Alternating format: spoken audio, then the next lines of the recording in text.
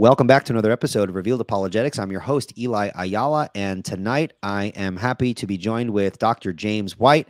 Uh, he is the president of Alpha and Omega Ministry, or director, director, director. There we go. Rich, Rich, Rich is uh, president. There we go. I'm not sure about the official terminology, but uh, he's over there at Alpha and Omega Ministry, and I'm sure everyone is familiar with his work, his uh, debates, which I have lost count, but I'm sure he'll remind me uh, in just a few moments if he remembers. I don't know. He's uh, 181. 181. 181. That's uh, that's insane. I, I'm I'm convinced that you are um, you are a cyborg and uh, you don't go to nope. sleep. I'm an old and I'm an old Scotsman now. That's all. All that you require is just to be plugged in and charged until the green light goes on, and then you're sent back out to the mission field. I wish. I wish. That's right. So if you're amazed at all of the work that Dr. White has done and is doing, uh, he does that without coffee. So right there is evidence for the existence of God um, for you atheists who might be listening.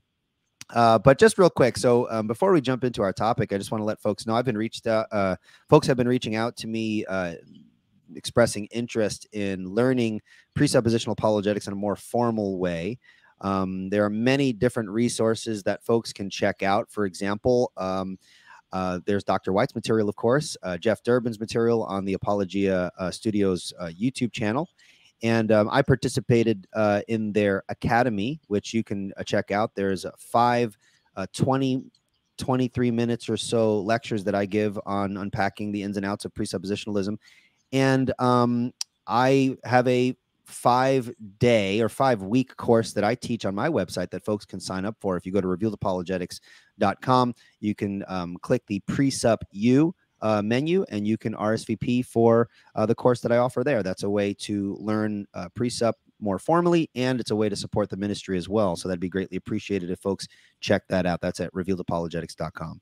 All right. Well, without further ado, let's jump into our topic for this evening. We're going to be talking about Mormonism, how to engage Mormonism. We're going to talk about that generally and then make some presuppositional application um, uh, with respect to Mormonism a little bit later in the um, uh, in this discussion. So, uh, Dr. White, folks who know you know that you got into apologetics uh, very early on, and you've had you always talk about your your story of uh, those Mormons that uh, was it Reese and what was the other what was the other elders elders Reed and Reese. Reed and Reese. Very good. So I'm sure folks would, would already be familiar with that, but um, folks know that you have a uh, great experience in this area. Why don't you unpack for beginners? I'm a teacher, so there might be some students who be li listening as well. Um, what is Mormonism? And then we'll kind of go from there and, and move a little deeper into the discussion. Well, um, most people uh, are familiar with the Mormons from the two young men that come knocking on your door, maybe two young women too, actually. Um, but Mormonism is one of the largest American originated religions, um, officially founded April 6, 1830. Hmm. Uh, so um, it is really a very American religion in the sense that it has struggled to become super global. It's it's not that there aren't um, Mormons outside the United States, but the vast majority are within the United States they've had some areas of growth, like uh, uh, some of the Pacific Islands, Samoa, places like that, mm. um, that they've had some odd uh, foothold that they've established there.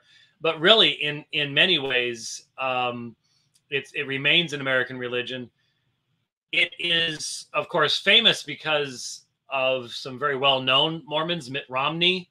Um, right uh, other Romney that was, I think, the governor of what was it, Michigan, I think, uh, something along those lines.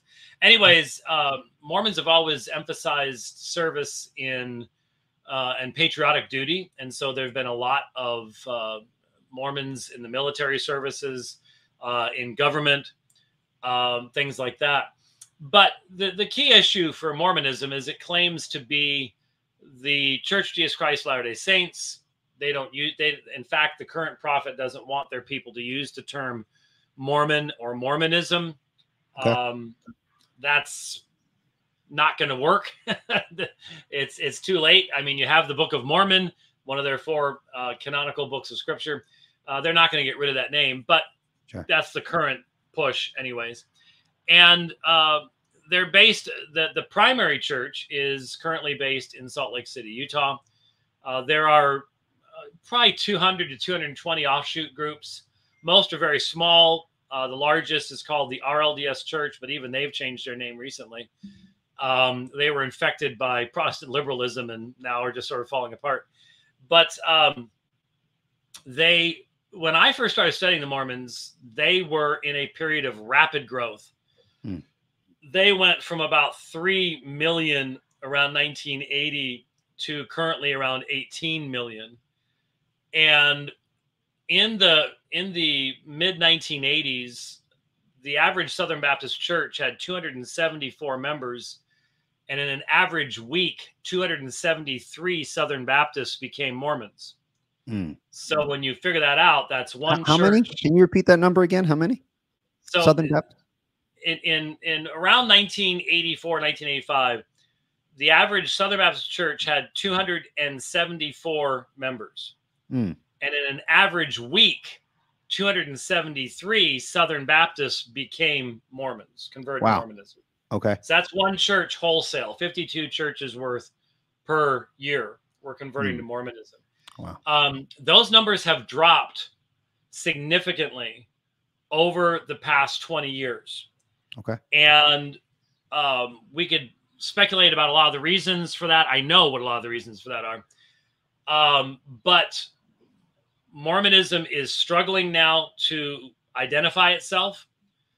Um, when I first started witnessing the Mormons, when we first started going out to the Easter pageant of the LDS Church in Mesa, Arizona, um, I could show you a great picture. Um, in fact, I may, since I have the ability to do these things now. There is the, the, the, we do have the technology. yeah, I, I realize that, uh, that that you don't, and I don't want to make you feel badly uh, about this at all, brother. I I could um, show pictures if I wanted to. It just takes a little work. I'm not very computer savvy, even though uh, many people think I am. oh, okay. Well, you know, if you say so, um, there we go. I just need to uh, de-maximize something I do want to show you a little bit later on.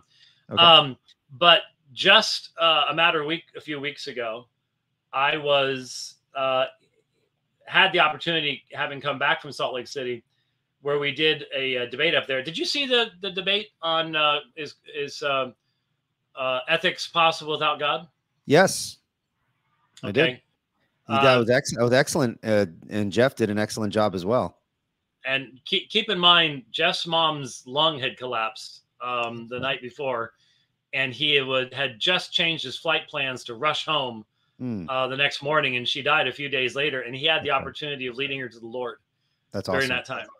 Uh, so that was that was incredible, and I just thought he was on fire. Um, he was. I I love that man. Um, I'm so proud of the role I've had in his life, and was so proud to um, have that opportunity to, to do that with him.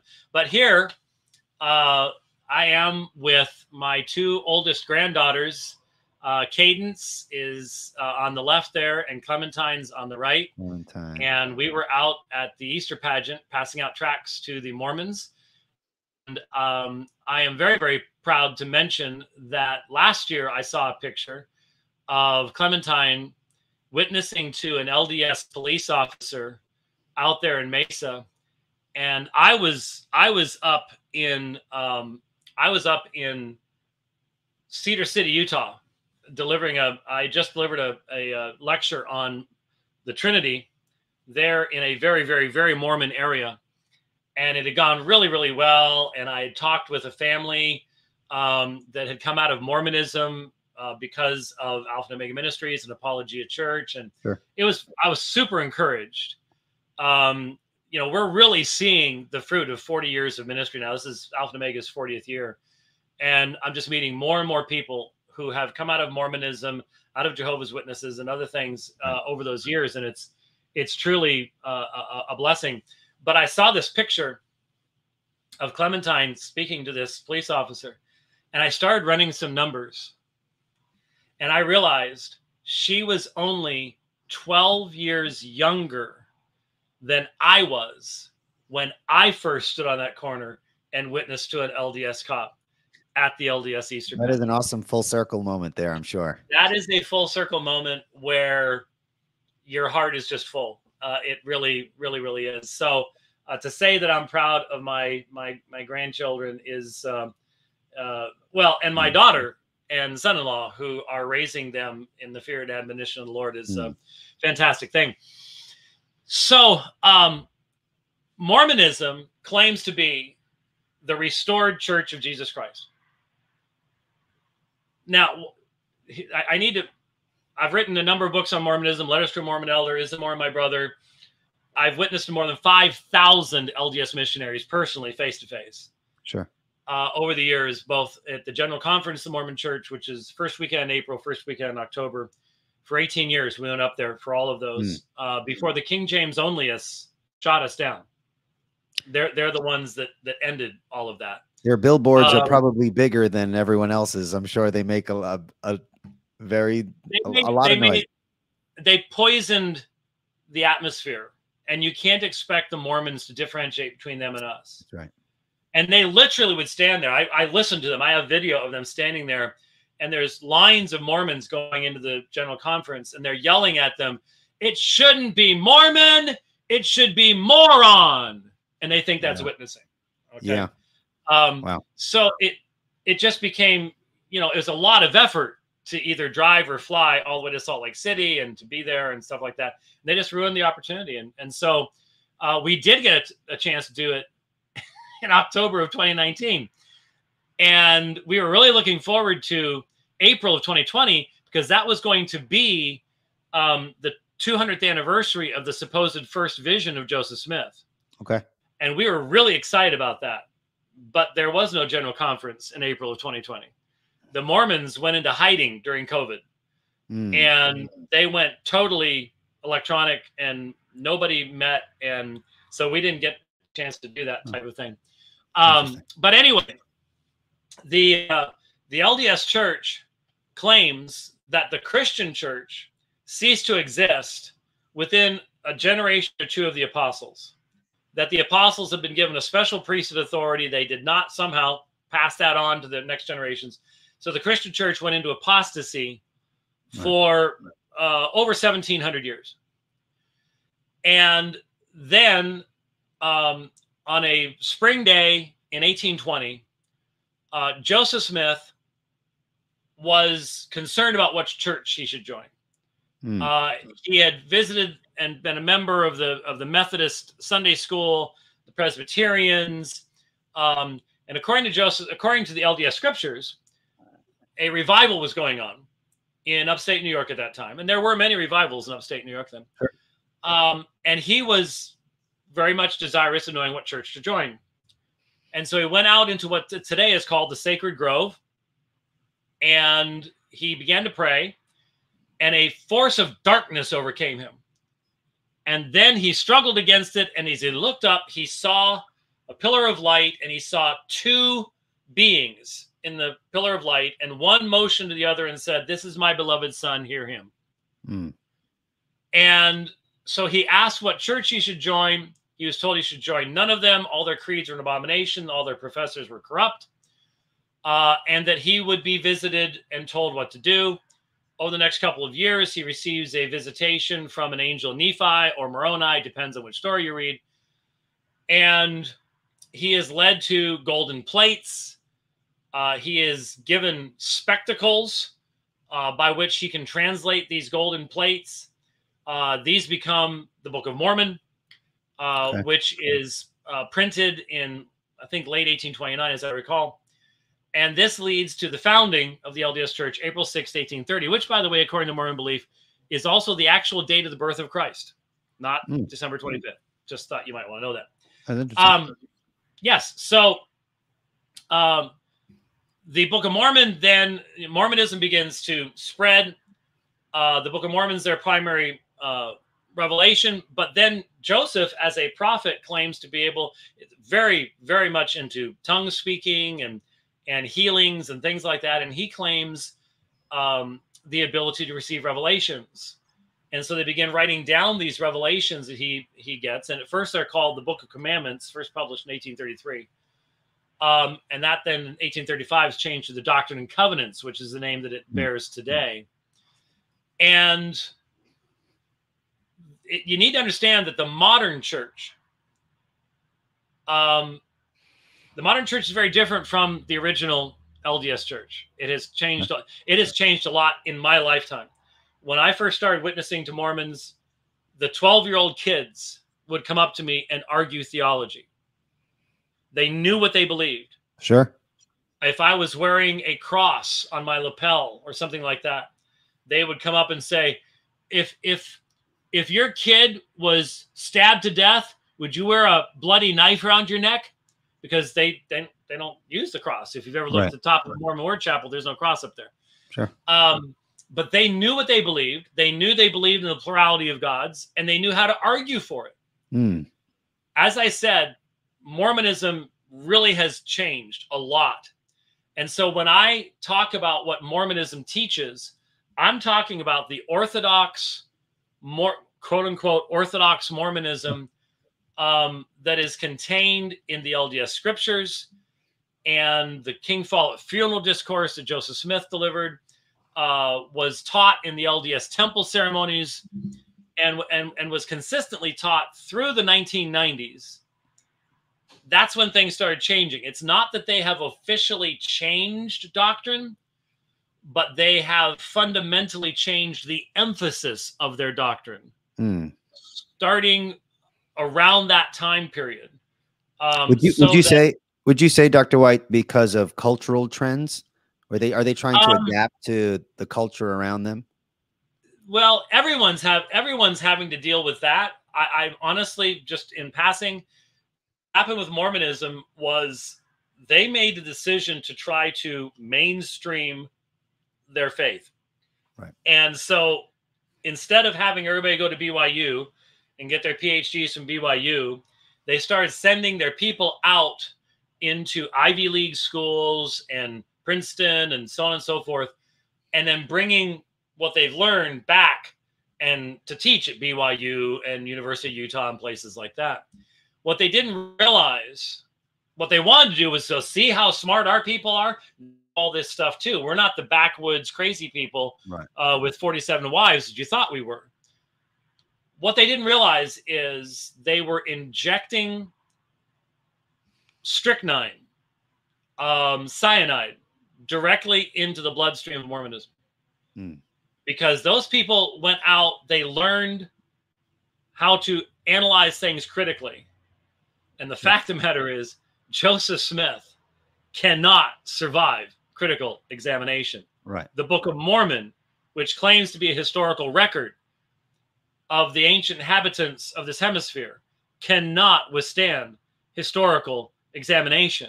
Hmm. The Book of Mormon literally claims that the Mesoamericans had horses and chariots and swords and bows and arrows and gold coins and silver coins. None of these things did they have. Jade and cocoa beans was the primary things they traded with. Hmm. They did not have swords. They had war clubs. Um, they did not have bows and arrows. They did not ride horses with armor. Um, Joseph had made this all up from what he knew of of Rome and things like that, being ignorant of what was actually going on in Mesoamerica. Sure. In the same way, uh, the um, Doctrine and Covenants has been changed over the years and edited and expanded. And so when you analyze manuscripts and things like that, you discover the Book of Mormon has been edited and changed, and the Doctrine and Covenants has been edited and changed. And we'll look a little bit later, if we have time, at the Book of Abraham. The, the point is, these people have come back, and Mormonism has begun changing as a result, fundamentally. The Salt Lake City Council is proud that every one of their members is LGBTQ. Hmm. The entire city council is LGBTQ. Um, Utah is becoming absolutely blue. As far and, and, you think, well, how can this be?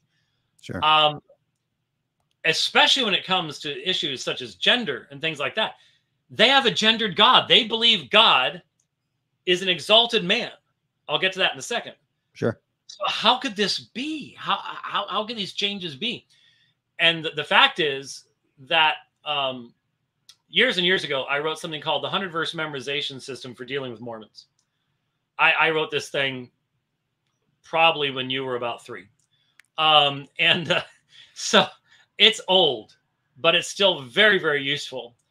Sure. And the first section of that 100 verse memorization system is how to deal with the subjectivity hmm. of the Mormon testimony. They sure. have a testimony. They've prayed about it. Moroni 10, 4, and 5. Uh, pray these things. The Holy Spirit will testify to the truth, truth of these things. And that was something you had to deal with. So there was always a level of subjectivity at the very foundation of the Mormon experience. And even though they would say that they had an objective revelation from God, the fact was that of their four books of scripture, the King James Version of the Bible, Book of Mormon, Doctrine and Covenants, Pearl Great Price, um, those four books, these correct this, and these can be added to. Right. And so the idea of an objective truth, um, an unchanging concept of revelation, was never firmly grounded.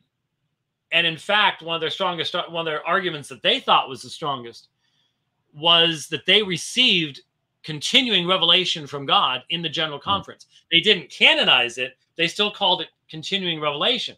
That really led to a lot of confusion on the on the part of a lot of Mormons when you would press them mm-hmm. on the contradictions between scriptural revelation and what they claim is is scripture.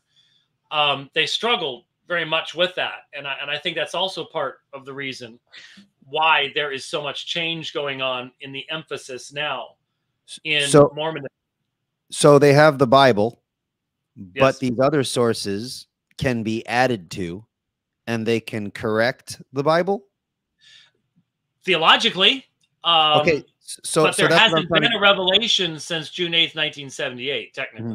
Well, that's what I'm trying to get. So they say they have an objective revelation, but that objective thing over here can be added to and changed, which makes it not as objective as one might think, it seems. And the only way to actually interpret it is by the living prophet. Right, which is very subjective. very, so, very subjective. Right. Uh, very. Okay. So, so their objective, their objective revelation, they play with very subjectively. Yes. Yes. Very okay. much so. Yeah. All right. Now, yeah, now you did so, say something real quick, and I apologize for for interjecting here, but um, and I noticed this is kind of common in the cults, uh, where you have Mormonism and Jehovah's Witness, and uh, even Islam. Uh, this idea that the true message is lost. Uh, is that is that something that is used as a tool uh, so as to open the door for some of these really really different uh, teachings that these cults bring? Is that you, you, think that's an intentional an intentional point there? Very very much so. Um, okay. All all the groups need to have a door opener. So uh, Jehovah's Witnesses will use things like the shape of the cross or the date of Christmas or hmm. birthdays mm. or things like this as a as a means of of separating you from your religious tradition right. and getting you right. to look at your religious tradition critically uh, while accepting their message. Mm. Um, the the Mormons are are claiming uh, latter day revelation and a continuing revelation. They believe that their very very very very very very elderly prophet is a prophet. Um, that he is an apostle of Jesus Christ. There are currently 15 living apostles of Jesus Christ on earth. Mm, okay. So you have in Mormonism, you have the prophet and his first it is first and second counselors. So you have what's called the first presidency. They're all um, prophets, revelators, and seers, and they're apostles. Then you have the council of the 12 apostles. They are also apostles, just as Paul was or Peter was or anybody else. Mm. So there's 15 there. Then you have the the 70. And they this this forms the the the hierarchy of a massive LDS church. I mean, they have mm. billions and billions. They're very, very wealthy. Um, and so when the prophet dies, then he is replaced. And and by the way, I can guarantee you, Joseph Smith did not intend it to work this way. Okay. But Mormonism is stuck with a system now that guarantees them a leader who is always just about to die. Hmm. They can't have a young leader. It's not possible. Why is that? Um, because it has to be there is a seniority, a ranking system, Hmm. and that means the prophets just keep getting older and older. I think the current guy is 95, and the guy that I think will replace him is 93. So it's been this way for a long, long time. That's not what Joseph Smith intended. Now, when you call them, Uh, when they call themselves apostles, would you say that this is an apostle that they see these these people as apostles with like a capital A, like Yes, literally like yeah, the just like Paul, Paul, just like, like they Paul, can write scripture? Yes, Wow. Okay. yes, they don't. That's see, that's that's the inconsistency. Is the the or- original thrust of Mormonism was a living voice of God, a prophet on earth today. Hmm. Um, we have guidance from God. The Holy Spirit speaks at every general conference, but then there's no revelation. That sounds on like the it's hand, useless, like papal infallibility. Yes, yes, exactly. It, Right. it is very much that way. They will talk about it being revelation, Hmm. but then they don't put it in into their scriptures. Interesting. Okay. So that creates a two-tiered system. And Hmm. like I said, they they even when eh, on June 8th, 1978, the, the Mormon church gave the priesthood to blacks. Because Brigham Young had taught that the day that the blacks received the priesthood was the day the church went into apostasy. Hmm. Uh, Brigham Young had taught that the blacks were the offspring of Cain. Um, they had been uh, less valiant in in fighting in the heavenly war before we came to Earth, and um, as a result, then um, they are cursed as, as far as the priesthood. So when Stanford started to boycott playing BYU, all of a sudden a revelation was received giving the priesthood to the blacks. Hmm. But what's interesting is it wasn't put in the Doctrine and Covenants as the next revelation, you know, section 139 or something like that. It was made a general announcement and put in the Pearl of Great Price. Hmm. So it wasn't even handled in the same way. And so the church, the, the church is absolutely uh, terrified of the idea of somebody getting a revelation. Hmm. That would upset the status quo. And I think the Mormon church is rife right now for a charismatic leader to come along. I think I think if a charismatic prophet-like leader came along, could split that church right down the middle even more so Hmm. um, because there are a lot of Mormons that I knew back in the 80s, and they're sitting here looking at the church today going, What on earth happened? All right. This isn't the Mormon church I grew up with. And so that could really happen. Now I'm I'm I'm going way way way way too far out into the wo- wo- woods and haven't given you what you really need here. Um Okay. let me I'm sorry. No, I said okay. So if you if you wanted to move into something, you wanted to share something on the screen, that'd be perfectly fine. Yeah, I let me. Now this isn't doesn't. I know you're just flexing your technological ability, but that's fine. We're we're all The clarity here isn't as good as I would like. It's a PDF that I pulled up. If Okay. I did it with this keynote, it would probably. So this will need to be good enough. Um, let me let me give you the world's fastest run through on LDS theology. Okay. okay. Um, this is this is called the eternal law of progression, and the the diagram I'm going to show you. Uh, I always I always use this as the illustration. I'm a Trekkie, and uh, so one of the things that Star Trek had to deal with in the original series was why do all aliens speak English? Hmm. especially when we've met them only for the first time. And so, as you know, what they came up with was what's called the Universal Translator, um, which, by the way, Google has pretty much already invented, uh, which is an interesting thing to think about. But um, the idea was that when the, the the alien comes up on the screen, there's a computer gadget that is translating whatever they're saying into English and vice versa, and that's why Okay. you can get around that plot problem in uh, in in the, the situation. So this is my universal translator. This is what I designed to be the universal translator to explain as briefly as possible uh, the central core's the central core of LDS theology. Okay. Okay. So let's let's take a look at it. You tell me if you can even really make make sense out of it here, uh, because Let- I can. see I if can, I can do this. Let's see if I can do. Let me see if I could change the screen. and bring it up full screen. Yeah, I'm gonna try. I'm gonna try to at least make it bigger. Maybe something like this. No. No, it's It, just making. it only seems to want to do you. Yeah, that's odd. Okay, so I'll just I'll just keep it the way it was. I can I can see it. Okay. Well, um, actually, um, here, I can I can zoom in on stuff like this. There we go. That makes it a lot bigger. That makes it a lot Oh, bigger, yeah. doesn't it? Aha. Much better. Okay. All right. So let let's look back here for a second. This is the whole thing. Starting up here with intelligences of matter, spirit children, mortal probation, baptism of the dead, paradise, celestial, so on and so forth. So this is the whole, and what you need to sort of figure is this is supposed to be circular. Um, so you have spirit children here and you have spirit children here. So this is a Hmm. cycle, and you go through all of this. Okay. So let me zoom in on a section of it up here, up at the beginning. These are the two eternal things in Mormonism intelligences and matter. Intelligences and matter. God cannot create matter. There is no creatio ex nihilo. There is no creation by divine fiat.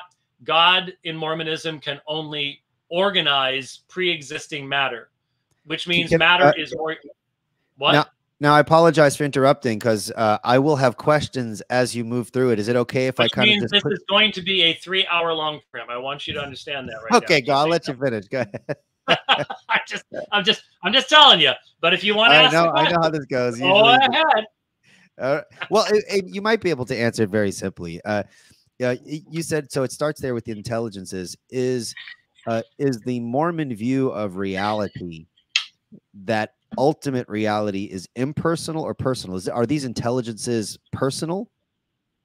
The intelligences are personal. What their origin is is not known, and intelligences would include sort of the basic form of God, men, and angels, because God, men, and angels are all the same order of being in Mormonism.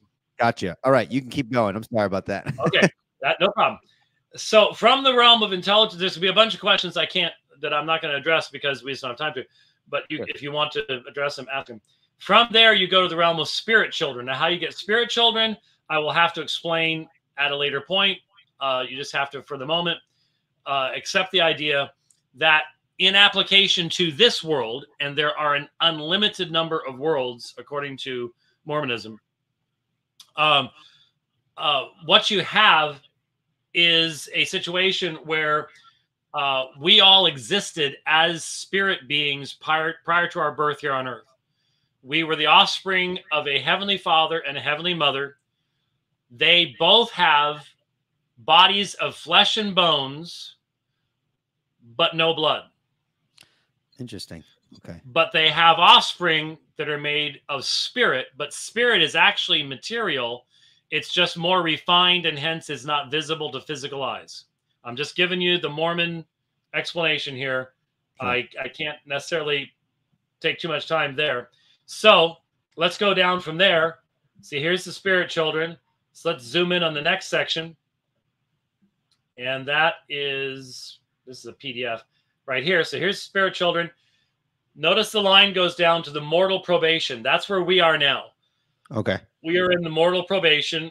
Uh, we lived as spirit children, and then we were born in the mortal probation. Now, you might ask a quick question why don't rem- we remember the spiritual preexistence? There isn't really a dogmatic answer to that question, but a lot of Mormon women used to theorize that, see, spirit children have what we would call physical bodies. So you're born as a little spirit baby, you've got spirit diapers, you you grow up and you play spirit games, and then you become a six foot tall spirit child, and then you're born into the mortal probation.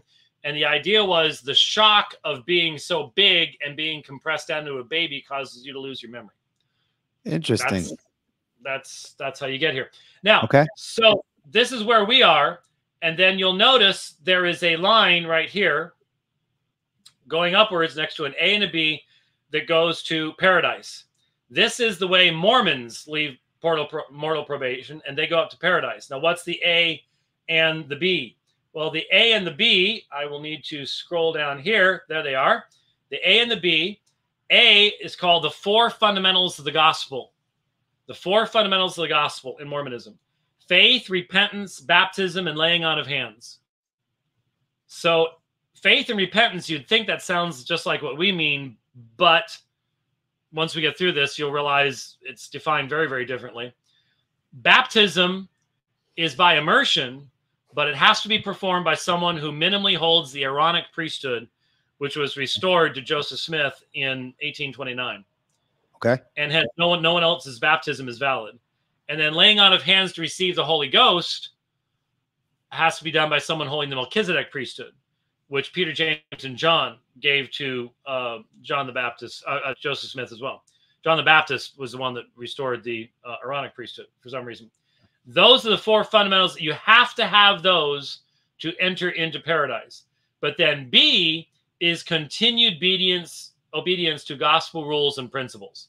So this is continued faithfulness. It's very much what we would call a work salvation system. Okay. Um, but here is that that's how the Mormons get to paradise. But the vast majority of people who die aren't Mormons, right? So right. where do the Mormons go? Well, I'm sorry, where do the non-Mormons go? Well, if you look here, I'm not sure if I zoomed in on this.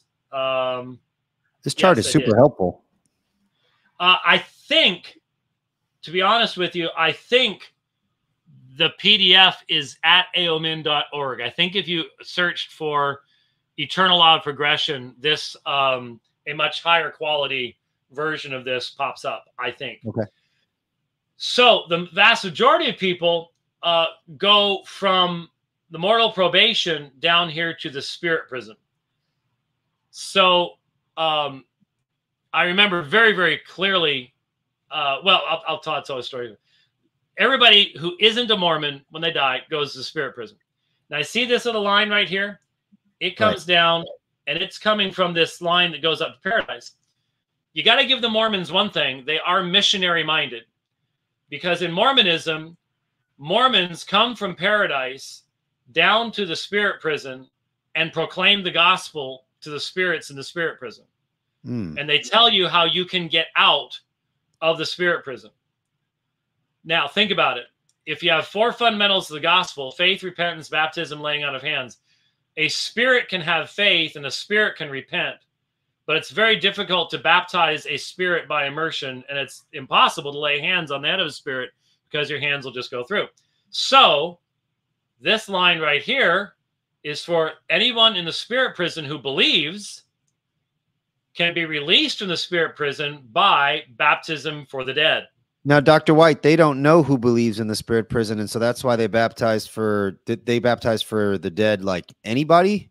Or, right, right. Okay. They baptize for as many people as they possibly can. Hmm. So, so they they're not saying that by doing that in in the place of these individuals that they are automatically removed from the spirit prison, but they are providing the, the means that if they mm. believe and repent, gotcha. and then someone does the, the baptism for the dead for them, which includes laying out of hands receive the Holy, Holy Ghost, then they can get out via baptism for the dead. They go up to paradise as well uh, with the rest of the Mormons because they become Mormons after death, basically. Okay. But you'll notice that's still a fairly small number of people. There's a larger line that goes from the spirit prison to terrestrial and celestial levels of glory. So over here, you have the top level of glory, the celestial level.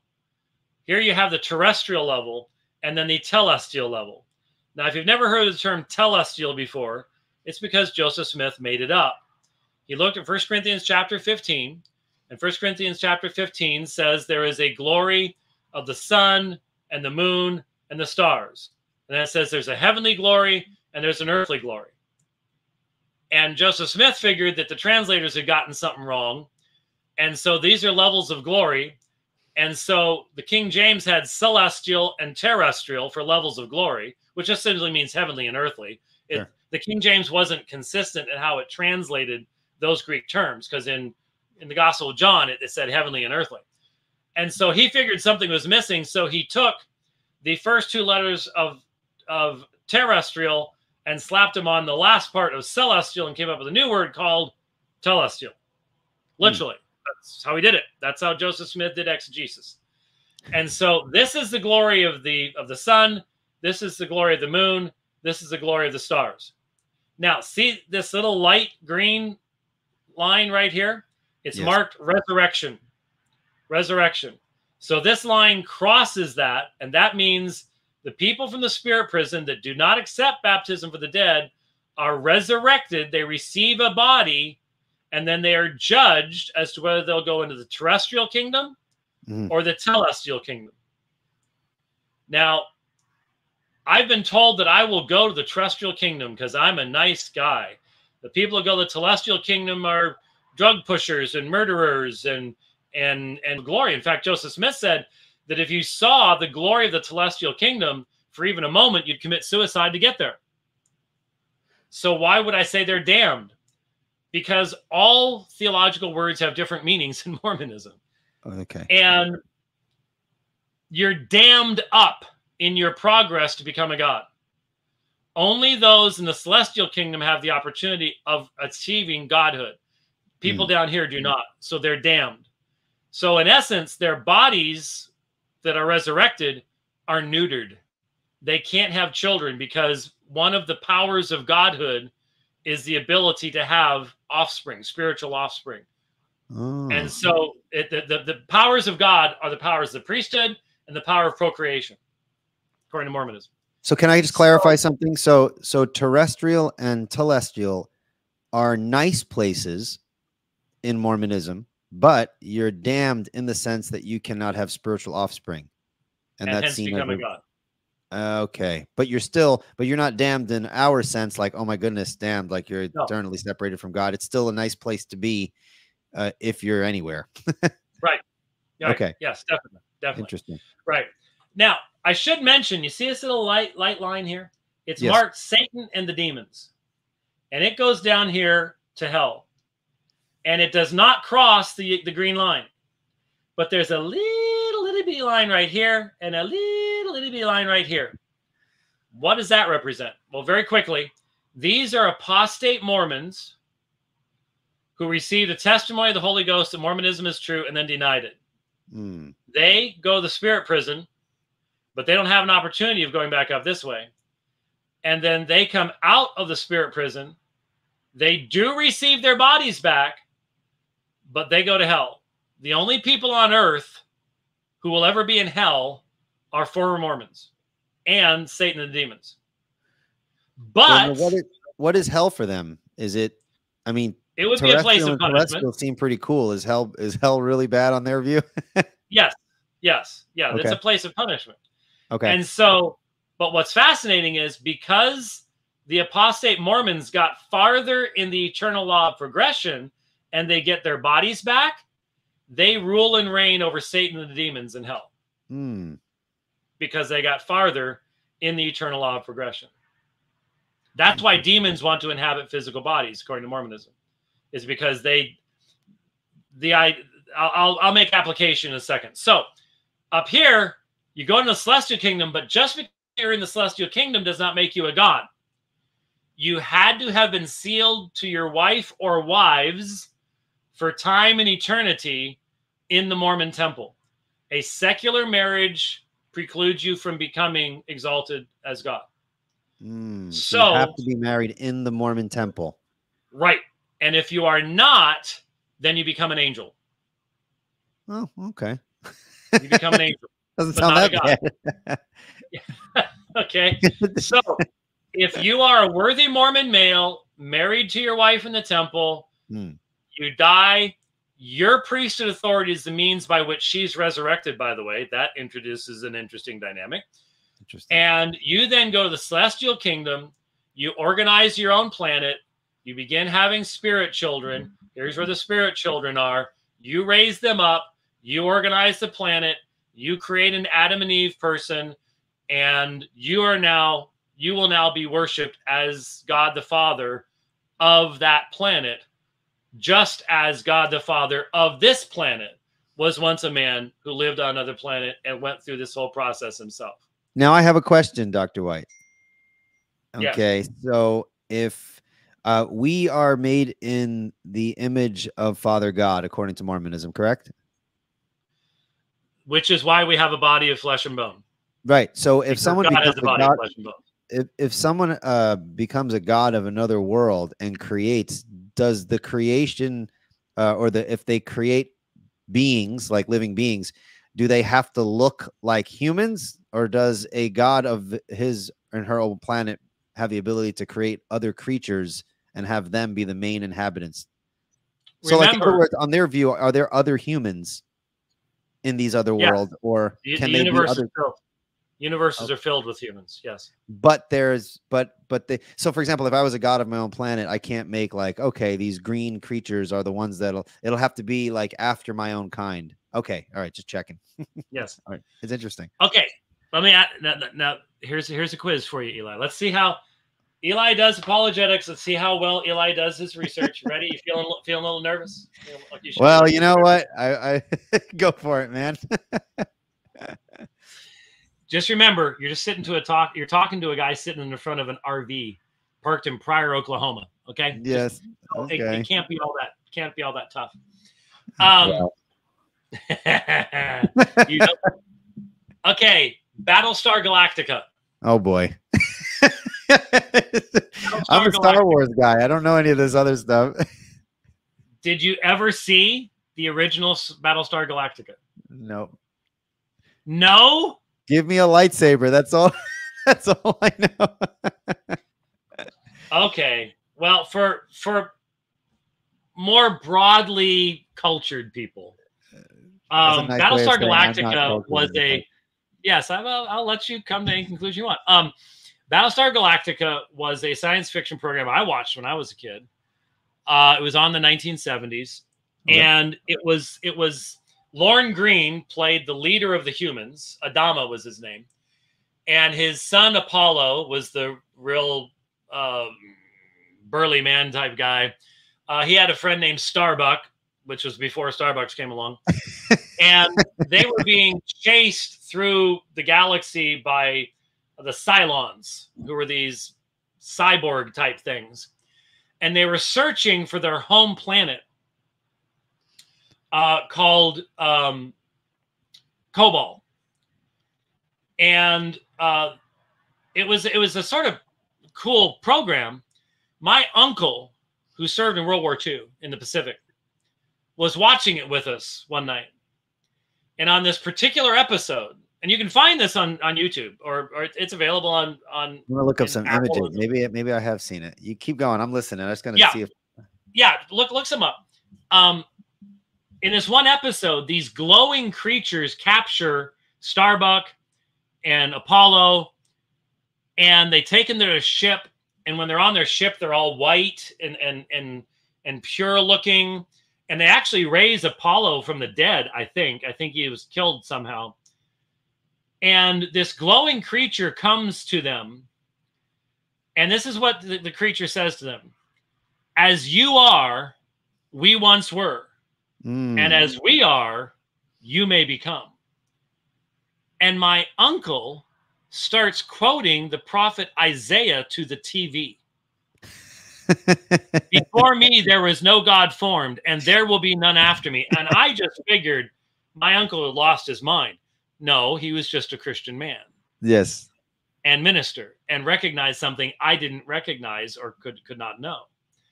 I found out years and years later, every single writer of the original Battlestar Galactica was a returned Mormon missionary. Interesting. And Adama, Adam, rules over a council of the 12. They have eternal marriage ceremonies. That phrase, as man is, God once was, as God is, man may, may become. Eliza Snow, fifth met president of the Mormon Church. Um, it was everywhere in Battlestar Galactica. It was a purely Mormon show. Interesting. And so when I when I describe that in Mormonism, um, well, here's the here's the key. In Battlestar Galactica, they, the homeworld they were looking for was called Kobol. Or Kolob. In in the no Kobol, but in the LDS scriptures, God lives on a planet that circles a star named Kolob. Mm. So they had just switched the letters in the name, and every Mormon in the audience knew it, but the rest of us had no earthly idea what in the Ah, world was going on. That's fascinating. Yeah. So, so God the Father in Mormonism is named Elohim. This is not really what Joseph Smith believed, but since 1901, uh, this is official LDS doctrine. God the Father is Elohim. His firstborn spirit child is Jehovah, who is Jesus. Hmm. Then he has a spirit son called Lucifer. So Jesus and Lucifer are spirit brothers in Mormonism. God the Father has many wives, many, many wives. He is a polygamist. He has billions of offsprings, billions of spiritual offspring. And once enough of them had matured to organize planet Earth, a council was held and two different plans were presented to the council. Sorry. The one plan representing Elohim was presented by his eldest son, Jesus, who is Jehovah. And in it, men would be given free agency to choose whether they wish to become gods. Then Lucifer came forward and he presented his plan where he would force everyone to be. Calvinism. Calvinism and our Lucifer was a Calvinist. That's why Mormons. Lucifer was a Calvinist, Adam was an Arminian, and that's how it works. Yep, yep, yep, yep, yep. Oh boy. A vote is taken. One third of God's spirit children vote for Lucifer's plan. He convinces them to then fight in rebellion. There is war in heaven. Lucifer and the demons are cast out. There are also others of Elohim's offspring that do not fight valiantly against Lucifer, Hmm. and they are cursed to be born with a black skin. That's right. That was the teaching of the LDS Church up until June 8th, 1978, anyway. Certainly the teaching of Brigham Young and and and uh, the church in Utah. Um, so you were a spirit child of Elohim and one of his heavenly wives. You can go into any LDS Ward Chapel today, pick up the the uh, hymnal, and I can show you the hymn that talks about our heavenly mother. Hmm. And when time came, your spirit was placed in your body. You're now being tested to see whether you'll be worthy to return back to live with Heavenly Father and become a God yourself. And to do that, you need to be a member of the LDS Church. Hmm. And the power that will cause you to do that is the power of the priesthood, which is only available in the LDS Church. Right. Okay. So there's a really, really, really fast run through. Uh, there's so much more. Uh, there's a I would awesome imagine. quote. There's an awesome quote from uh, that I that I run through that really lays all this stuff out to help you as well. But when I present this to people, I try to warn them. I have just simplified everything. I've tried to be accurate. Now, a Mormon's going to go, well, I wouldn't put it that way, and I wouldn't say that, and I don't think that's accurate, and stuff like that. But be aware of the fact that the Mormon, the, the a lot of Mormons they don't even know some of this stuff. Sure. Like I said, in the 1980s, the 12 year olds knew all of this. Today, you can talk to Mormon, you can talk to, to adult Mormon males who've been through the temple and they don't know half this stuff. Hmm. It's it's stunning what has happened along those lines. Just a few weeks ago, when I was in Mesa, I was talking to a young Mormon man, a returned missionary. And he said he was talking to one of our, our folks from Apologia. I walked up and he said something along the lines of, Well, we're all baptized, we're all Christians, so we're all, you know, we're all baptized. God accepts your baptism. And I'm looking at him going, You don't believe that? And he's Hmm. like, What do you mean? He says, He wasn't baptized by someone holding minimally the Aaronic priesthood. That's not a valid baptism. Right. And he wasn't even aware of what I was talking about. Now, later, a more knowledgeable Mormon, I was talking with him and I mentioned that, and he says, Yeah, it's, uh, it's sad.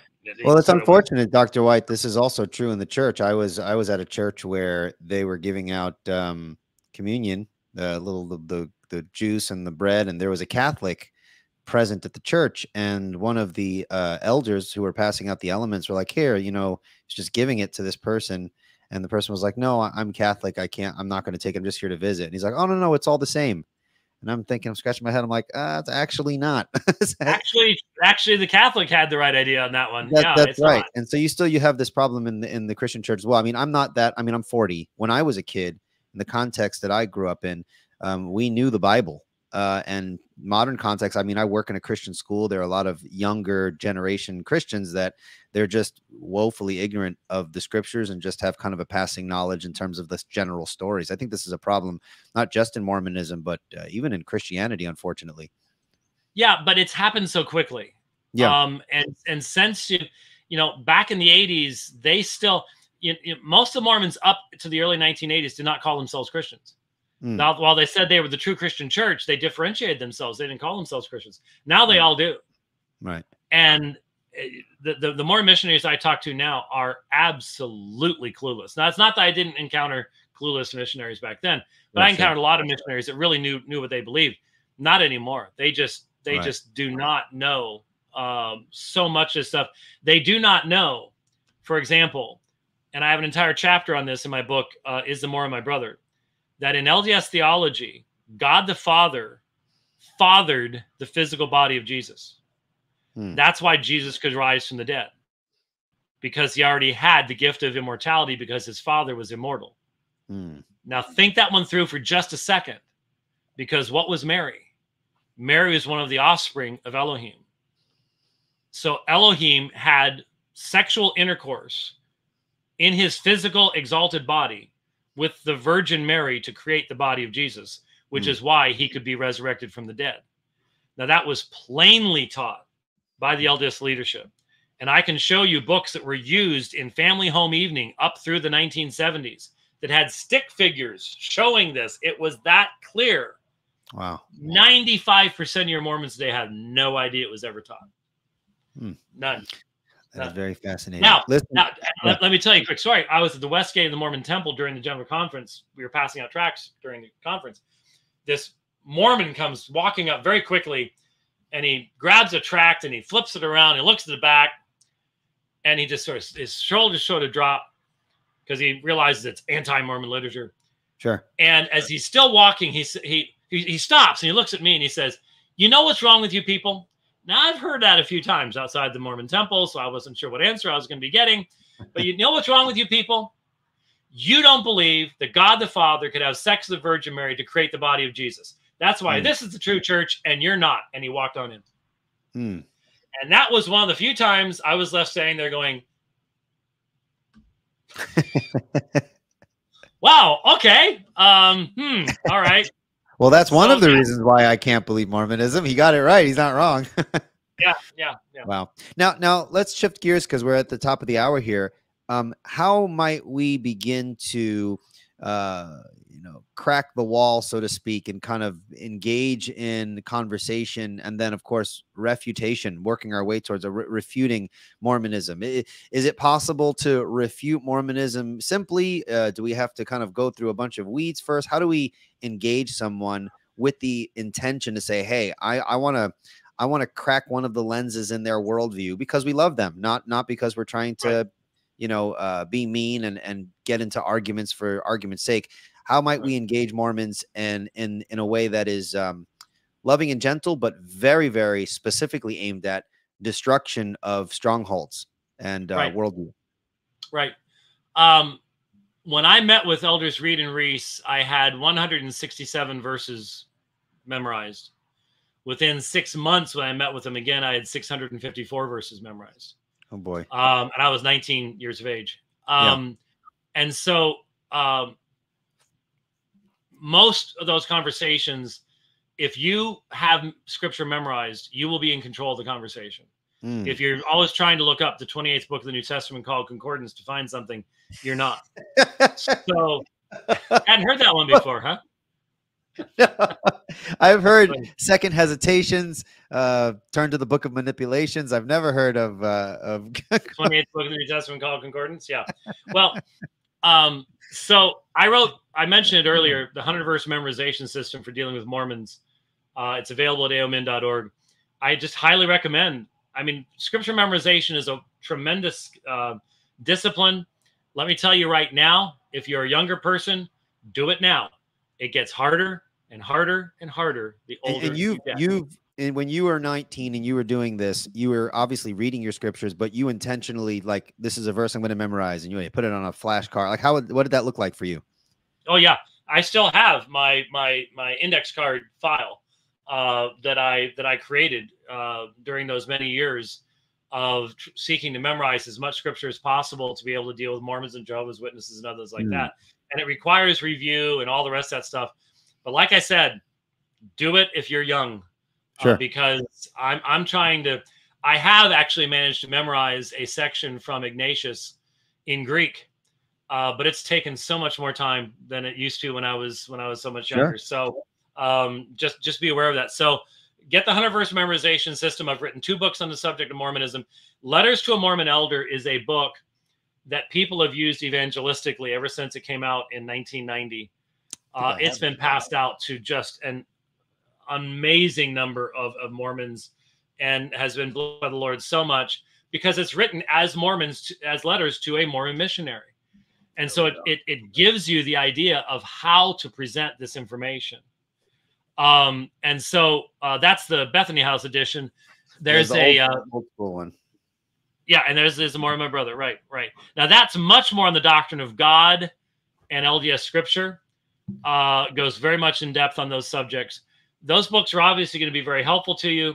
We have done uh, debates. Uh, Jason Wallace, the OPC Church in, in Magna, Utah, uh, for over 20 years now, has been working with us and arranging debates up there. Sure. Up until up until the Mormons finally said stop debating them, Mm. and they won't do, they won't do debates anymore. Um, Hey, quick quick question though. When when is this coming out on audio? I see that you have a well, the problem is that's now published by a very small publisher. It's no longer with with Bethany House Hmm, and audiobooks. I have no control over those. If um, Okay. I, I do actually have a friend on Twitter that does audiobooks, and if if they wanted to do letters and is Mormon My Brother, I'd be happy to do that. But um, well, just to give people a, a, a quick teaser. So I reached out to someone who has access to the publishing folks here for this book, and I'm Yeah. working towards um, hopefully doing the reading for this. wow, because this is my in my opinion this is the best book on presuppositional apologetics and it's it should be also an audio version given that there are a bunch of other stuff out there so i love to read and uh, do those sorts of things and so um you know hopefully in the future i can do some books that are not available and are would be useful for people so just throwing that out there i'll let folks know um, how far we get with that if it happens so but go ahead Yeah. Yeah. Yeah. Um, so be aware of the fact this is this is how I've likened it. Um, when I first started studying Mormonism, I was unguided. I did not have, have anyone to assist and to give me any guidance whatsoever. Um, I read all the Christian books on Mormonism, and then nobody told me to do this, but thanks be to God, um, I decided, you know what? If if I'm going to do this, I need to read their books. I need to know what they actually said, not Mm. just read what Christians said they said.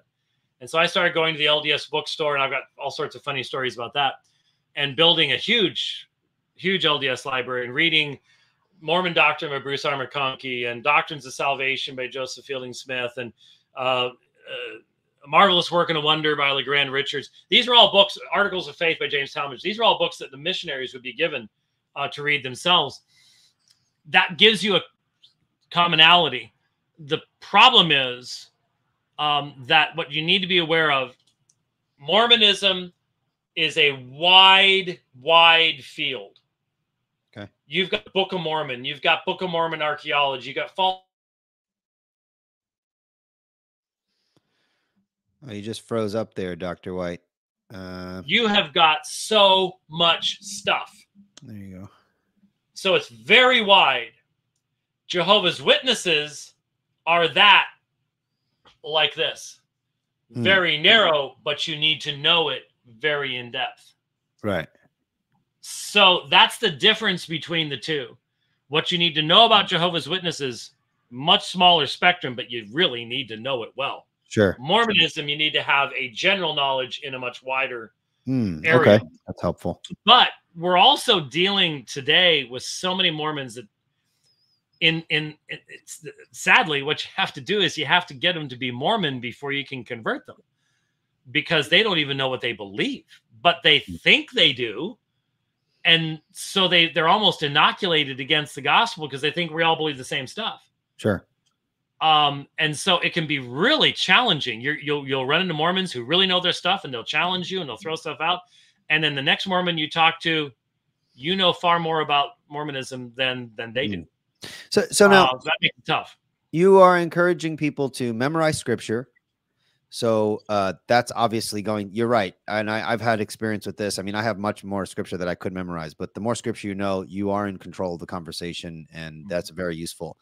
Um, but also reading their material, and uh, whether it's Mormons or Jehovah's Witness or even atheists, um, what would be your advice for people uh, as to how to navigate that? Since we are battling, right? It's not just an intellectual battle; it's a spiritual battle we are battling the forces of darkness how does someone navigate filling their mind with that content while still staying firm and grounded in the truth how, how would you um, speak to that Yeah, you really, you really have to have a an idea of who it is you're trying to reach. Hmm. So if you're being called to church plant in Utah, then you need to know this stuff. sure So you you view that time you spend reading falsehood as part of your service to God. You know, if you're being called to the Middle East, you better read the Quran. Um, you better familiarize familiarize yourself with the Hadith, or you're not going to be able to talk to anybody. You're going to Brooklyn, New York. You better better start reading the Watchtower. Um, so you, if it's a part of what God's calling you to do, if if you know that, or if you're in a situation where you have a relative that converts, or um, uh, you have a, a next door neighbor that you find out is, is LDS, and you really feel a burden to reach out to them. Well, then you you invest the time uh, to familiarize yourself, and you have to determine how deep that is. Obviously, I wanted to reach the Mormons in toto, so no one needs to build a huge LDS library um, and read thousands and thousands and thousands of pages. But I'll be honest with you, put put yourself in the Mormon shoes, okay? If you go up to a Mormon, and Christians do this all the time, you go up to a Mormon and say, "Hey, do you know you're in a cult?" and they go, um, "Have you read the Book of Mormon?" No, I've never read the Book of Mormon. How much credibility do you have in their eyes? yeah, zero. Zero. You know, when someone comes up to us, sees us reading the Bible, and says, "Ha, Christianity, it's a cult." You ever read the Bible? No, but my my uncle converted from Christianity, so I know.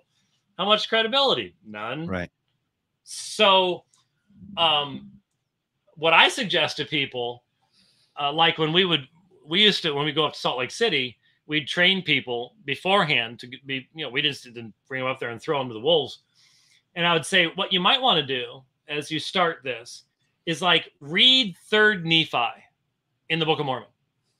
It's just one book. The Book of Mormon is not that long, but Third Nephi, Third Nephi is the story of Jesus' visit to the Nephites, and so half of it's the Sermon on the Mount, anyways. So uh, read Third Nephi.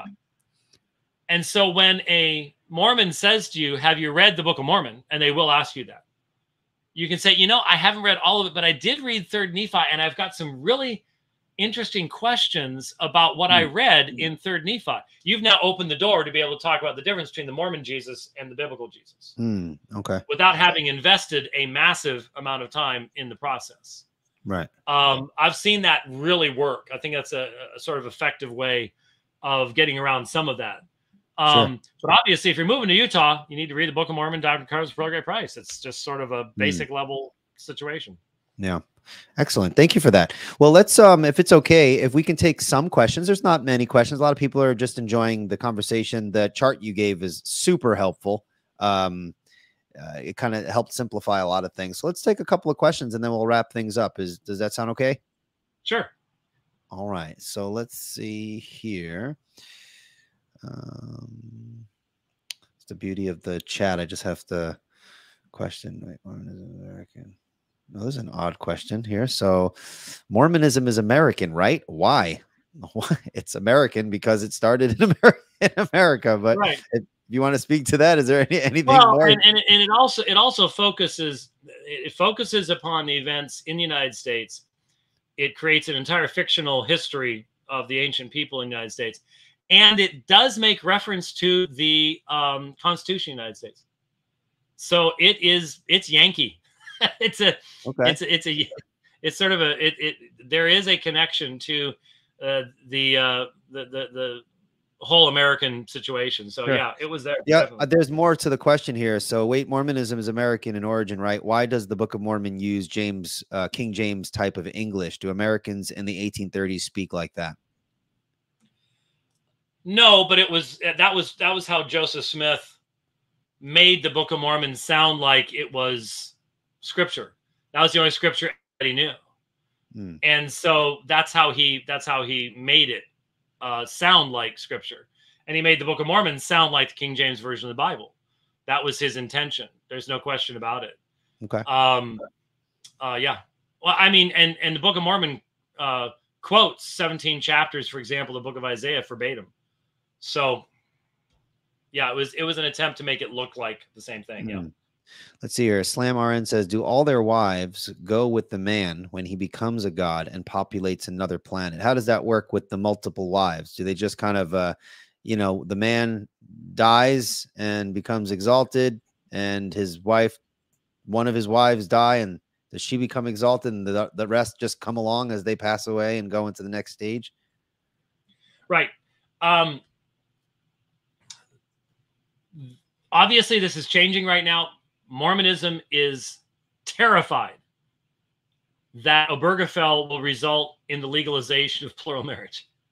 What they wanted for a hundred years, they're now terrified will actually happen, um, because they already have all sorts of cult groups in sou- southern Utah um, that um, are polygamous that they have excommunicated.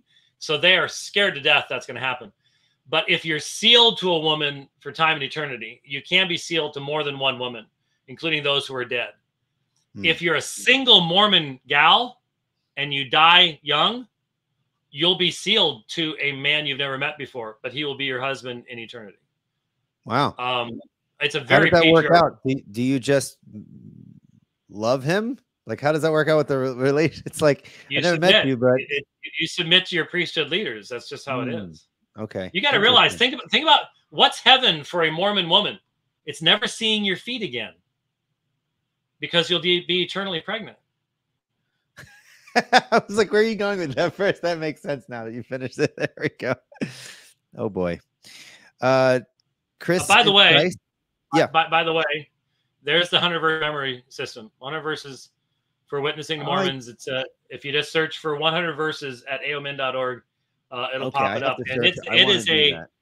it's a long, it's a big one. Uh, and it's it is a training course for for witnessing the Mormons. It really is. You just type in 100 the verses. It doesn't just give you the verses; it gives you the context that you need to explain to the Mormon so that they can understand why the verse is relevant to what they believe. Right. Let me get that up here before I forget because I've heard you mention that and um, I was unable to find it. Um, I'll look for it Yeah, later. I it's- suspect. Yeah, 100 verses for witnessing the Mormons.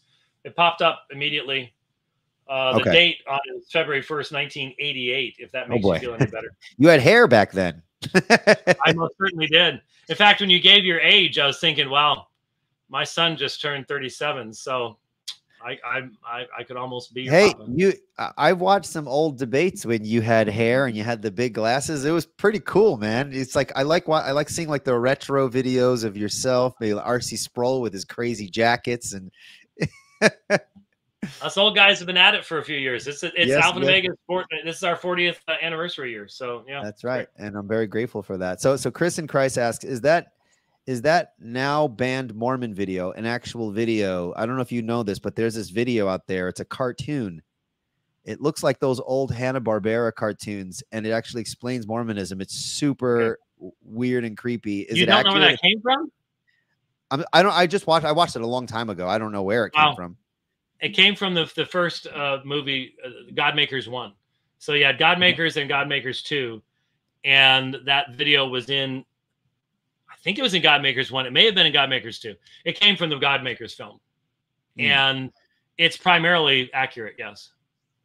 But the way it, if if you watch it you, and you just like, I don't know what Mormonism teaches, it's creepy. It's not even like, uh, hey, let me help you understand Mormonism. When you watch it, you're like, oh, I don't want Mormonism. No, it's coming. From, it's coming from a non, right, from a, what they would call anti-Mormon perspective. Okay, yes. but it's primarily true. Okay, all right. That was my first interaction with kind of Mormon belief, and then I was like, oh yeah, what's that all about? Interesting. Uh, Brian Sphere uh, asks, I have a question. We, yes, thank you for the question. Mormon ontology postulates that the only eternal things are matter and intelligence. But what are their justifications for that? That's not something Joseph Smith ever thought of. And that's been one of the big greatest problems for LDS philosophers is the the the problem of eternal regression. Uh, if there is an increasing number of gods today, then as you go backwards in time, there is a decreasing number of gods until you get to the first God. And what was the first God before he was a God? He was a man, but now there's no deity. Because mm. remember, godhood is not eternal, God is not eternal. It is the priesthood and the law of eternal progression that's eternal, but they do not give a justification for where that comes from. Right. It's just okay. eternal. It just is. Interesting. Uh, Emmanuel Simon says, "Is there a connection between Mormonism and Platonism? For example, both accept God created the world with pre-existing matter in the Timaeus, or that we can't remember our premortal life in the is it Phaedo? Phaedo? I don't know. Phaedo. Yeah. Um, some people have theorized that Smith's, I think it was his uncle, he had access to a library he only made it through eighth grade, but he but he was literate. He could read, sure, obviously. Um, and so there has been a fascinating, um, a lot of speculation as to what the sources of Joseph Smith's stories were, and certainly. Uh, we've been able to identify some of his sources of what he came up with for the ancient inhabitants of the hemisphere, the Nephites and Lamanites and stuff like that. But as to his doctrine of God, which, by the way, when the church was founded in 1830, he did not hold this doctrine of God. All okay. this stuff I showed you came well after the Book of Mormon. The Book of Mormon doesn't teach any of this stuff. Hmm. Uh, this is stuff that developed, I would say, between 1838 and 1842. In fact, and I didn't mention this earlier, I firmly believe that if Joseph Smith had not been murdered, and he was murdered inappropriately in the Carthage jail, uh, if he had not been murdered, if he had been given even two more years of life, mm. there would be no Mormonism today. Mm. His theology was changing so fast and so radically that if he had lived only a little while longer, nobody could have made heads or tails out of it, and there'd be no Mormon church today. So yeah. I think the men that murdered him in that jail uh, are very much responsible for bringing about Mormonism. Mm. Now, uh, here's a speculative question: Do you think the origins of Mormonism is demonic, or was it just a scam? I'm going to create a religion, get some benefits from it. What, what is your take on that, and your well, opinion? Lucifer uses means to get to an end as well. Mm. And Joseph Smith was a treasure seeker. Uh, he we have court records of his being brought up on charges of of, of fraud, um, mm. using a seer stone. Um, he was into all this stuff. And the Book of Mormon show, gives credibility to a lot of the magical worldview of of uh, the ancient of what was going on in, in the 1820s in in upstate New York. Um, certainly, as developed and he gave himself these things and he accepted the role of prophet and he became a polygamist and he starts you know is married to 48 different women and all the things that come along with that uh, and then started developing temple ceremonies which by the way and this is not a, a arguable point he stole the mormon temple ceremonies from the masons hmm. um, when i used to give the the the the, the symbols from the from the Mormon uh, temple ceremonies that you would have to do, and the handshakes, the sure sign of the nail, and all the rest of this stuff. I've I over and over again, I had men come up to me in the classes I was teaching, and say you could have gone through certain levels of the Masonic Lodge doing what you just did, Mm. because those are our handshakes. Those are, those are our symbols. Wow. And uh, when Joseph Smith was was shot in the Carthage jail, he was shot out a window, and he was giving the Masonic distress signal as he went out the window. Why would you be doing that? The men were dressed as American Indians. Yeah. Well, they weren't American Indians; they were Masons, and he was killed for stealing their temple ceremonies. But those ceremonies have become very dark, uh, and and um, yeah, the, it's not an either or. I think it started off as Joseph Smith liked telling stories and getting money for free. Sure. Um, but then that opened up lots of temptations, and as he got farther and farther into it, it got darker and darker and darker. Hmm. Interesting. Well, my last question, Dr. White, and then we can wrap things up. I thank you so much for your time. This has been really, really, I mean, I've studied Mormonism not in depth, but enough that I probably could interact with the Mormonism pretty decently. But that chart definitely helped kind of put a picture in my mind as to uh, how their theology works. That was very helpful. Um, but uh, just my last question here is for some presuppositional application. When we often present the transcendental argument uh, for the existence of God from a precept perspective, we often speak of uh, God being the necessary precondition for knowledge. And one of the ways that we justify that is appealing to the fact that we believe in an omniscient God who reveals. So, from a uh, Mormon perspective, um, we believe because Mormonism is false as a worldview, it does not provide the necessary preconditions for intelligible experience and knowledge. What is the Mormon view? And perhaps this can be a point of critique if anyone wants to use a transcendental argument if the context arises. Um, what is the Mormon view of divine omniscience? In their conception of divinity, is there? It, could I run a transcendental argument on a divi- on a on a deity on Mormonism because they're limited? How does that work in terms of their knowledge? Sorry, I was looking to the left. I was looking for the because I do know that that uh, chart is on our website, and I just I was going to try to pull it up. Okay. Um, and uh, let you know what the what the address was, but I do know without question that it is up there. Um, because I know Rich has, has told me that it's that it's there. Sure. Um, wait a minute. Super helpful. Uh, I mean, just you what you didn't even have it fan. It wasn't even a fancy graphic. It was so simple. I'm like, No, When- it looks. Believe me, it it, look. you can tell that I pulled that out of um, PowerPoint. Um, but it, in Keynote, it looks a whole lot better, and um, good. it, it really, really does. Um, but yeah, 2008, I gave an entire a 90 minute presentation on that chart Hmm. up in Anchorage, Alaska, and it, it is linked in our, our stuff there. But anyway, um, the the issue you're dealing with when in Mormonism at this point, most Mormons have already been taught that when challenged on such things as the impossibility of eternal regression, um, the, all the inherent contradictions in polytheism as presented by Mormonism, that you're just simply to default to a we don't know about those gods. This is beyond the the of revelation that we've been given, um, and so we just don't we just don't bother our minds with with this, because people have provided excellent um, philosophical critiques of Mormonism, and the only way that Mormon can Mormonism has responded to that has either been to encourage our people not to engage with those type of folks, or when Mormon philosophers have tried, they have inevitably gone down the path of unorthodoxy Hmm. because Smith just simply did not have the intellectual equipment to, in any meaningful fashion, um, defend what it is he was saying. He never, and and in fact, given, like I said, if I'm correct that certainly no earlier than 1835 and probably 1838 is when he starts developing his polytheistic ideas.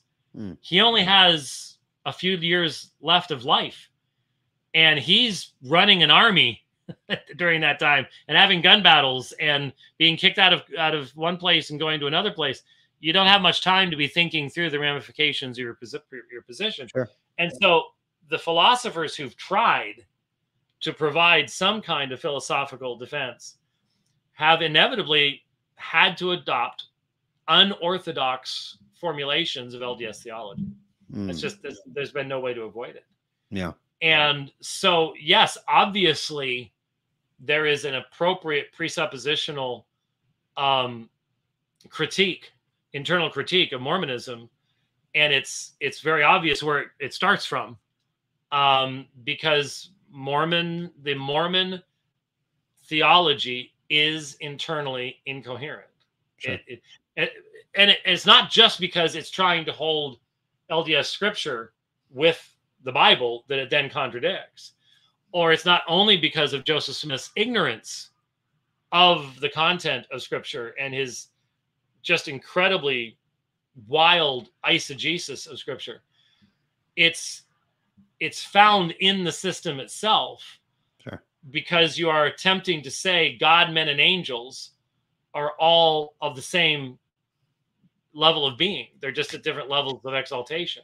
So, so they must, no so they from a pre, so if people are familiar with Van Til, the basic metaphysical distinction for Van Til and a Christian worldview is the creator creature distinction. And so they don't make the creator creature distinction in the same way we do. And they run into some of these issues because God is at the same level as these other things. That it's, it's, it's not only that they deny it, it is fundamentally hmm. Rejected as a positive element of their belief. It's very fascinating.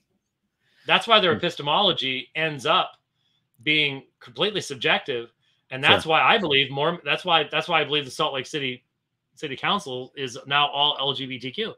Mm. They have a they have a gendered God who has male anatomy, but they can't hold firm on this because they have no objective way of having an epistemology because they have no creator God. Now, now, do they uh, just to answer the the question I asked at the beginning? Do they hold to God being or God's being omniscient, or do they lack omniscience? not in the sense that we would not in the sense that we would understand omniscience no okay. they would say that god knows everything it's possible to know about his realms maybe hmm. um, but his realms are limited and he was once a man lived on another planet he certainly doesn't know everything that the god before him knew sure. in fact that's part that, that actually is a part of dispute in modern mormon theology because joseph smith plainly taught that God continues to develop. But later Mormon theology has had to go, no, God reaches a final point of development and exaltation. So there is yeah. a tension there as well. Interesting. Well, Dr. White, thank you so much. This has been excellent um, and very informative for myself. And I'm sure there's looking at the comments, uh, folks have found this to be very useful. So I very much appreciate your time. I appreciate your ministry um, and uh, your kindness. Thank you so much. Been great to be with you. Thank you. Thank you. And thank you, Chris, for your $2 super chat. Wonderful ministry and appreciate you. And Dr. White, thank you so much. Uh, it is a pleasure and a blessing to be able for myself to interview such great scholars like Dr. White and others. And, um, and it's also a pleasure for me to teach when I have an opportunity to do that as well. So thank you so much for listening. Well, until next time, guys, um, that is it for this episode. Once again, if you're looking to uh, support um, Revealed Apologetics, you can do so by checking out the website. Uh, there's a donate button there, helps me out um, in terms of running back end uh, back end parts of the ministry. I also offer some online courses there. That's another way to learn some apologetics and also to support the ministry. And um, go over and check out Alpha and Omega Ministry, the website. It's not just on YouTube. I know a lot of people go on YouTube uh, to watch your debates and things like that, but there's a website. And if I'm not mistaken, there's also an app, right? You have an app, right? Yes. Yes. Yeah. So definitely download that if you haven't already. Once again, I've been talking with Dr. James White of Alpha and Omega Ministry on the topic of Mormonism, and um, it has been a great pleasure speaking with you, Dr. White. Until next time, guys, take care and God bless. Bye bye.